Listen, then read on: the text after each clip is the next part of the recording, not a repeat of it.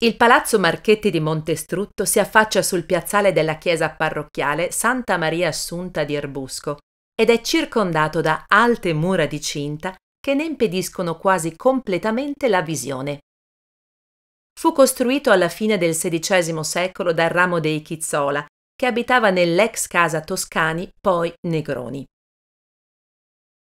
L'ultimo discendente del ramo erbuschese della famiglia Chizzola, nel XIX secolo, non avendo eredi diretti, lasciò la proprietà al pronipote Giovanni Francesco Martinengo Villagana, nonno a sua volta di Giuditta, che nel 1895 sposò il conte Ippolito Marchetti di Montestrutto. Per eredità familiare la dimora è infine passata al conte Antonio Marchetti di Montestrutto, attuale proprietario. Il palazzo si apre sulla piazza con un importante portale in pietra di Sarnico, con al centro del suo arco lo stemma dei Chizzola.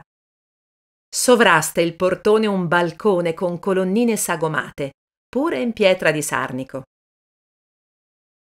Sull'angolo orientale della facciata si staglia una piccola torre con feritoie, costruita probabilmente già nel XIV secolo per difendersi da eventuali incursioni. Il lato sud del palazzo è chiuso da un'alta muraglia, secondo la tradizione fatta costruire nella seconda metà del Seicento, in seguito a un violento fatto di sangue avvenuto tra la servitù delle due nobili casate, i Chizzola e i Martinengo proprietari dell'adiacente palazzo, attualmente Lechi. Ad ovest della villa si apre un bellissimo degradante giardino, realizzato su due piani collegati tra loro da una grande scalinata del Settecento in pietra di Sarnico. Il giardino è arricchito da due fontane rotonde e, sul lato ovest, da un fondale affrescato.